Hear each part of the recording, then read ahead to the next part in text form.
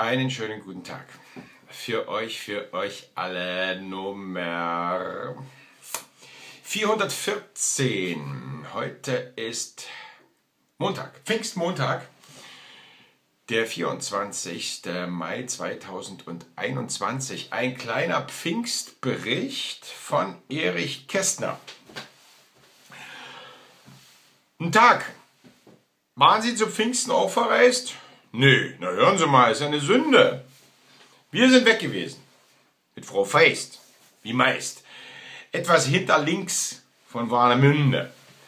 So eine Sonne und die hat geschienen Seeluft und bis früh um fünf schwuf. Bloß die Leute, bloß die Leute heute, sage ich Ihnen, die waren doof. Sowas doofes ausgerechnet Pfingsten. Heiliger Geist und so und nicht im geringsten. Und da sage ich noch zu Frau Feist, solche Sachen wie die Sache mit dem ausgestoßenen Geist sollte der Himmel öfter machen. Während ich mich im Lachen übe, denn man ist es ja ja nicht mehr gewöhnt, haut mir plötzlich einer auf die Rübe, meine Liebe, dass es dröhnt.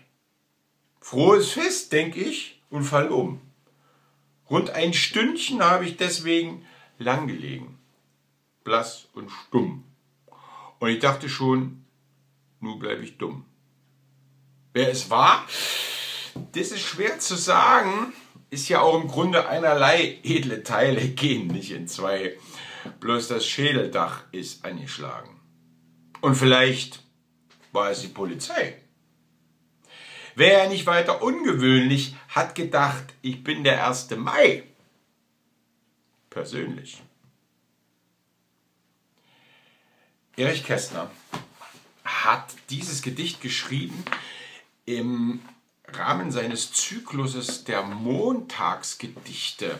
Da mal eine Zeit lang gemacht, zwischen 1928 und 1930.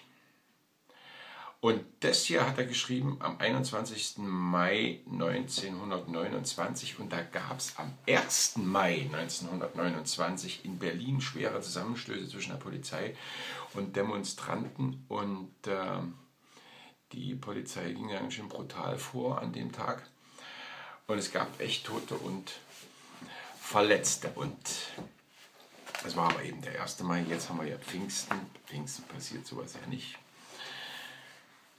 Aus, die Ausschüttung des Heiligen Geistes findet da statt. Ja, was auch immer das ist, aber so scheint es ja gewesen zu sein. Hm. Ich wünsche euch noch einen schönen freien Tag. Es ist nicht überall frei. In Finnland zum Beispiel ist der Montag nicht frei. Hm. Es ist immer noch kühl, für die Pflanzen gar nicht so schlecht. Dann explodiert das, wie gesagt, nicht alles. Weiß nicht, ob es regnet, aber die Sonne war nur ganz kurz da, heute Morgen. Also, nochmals einen schönen Tag und bis morgen.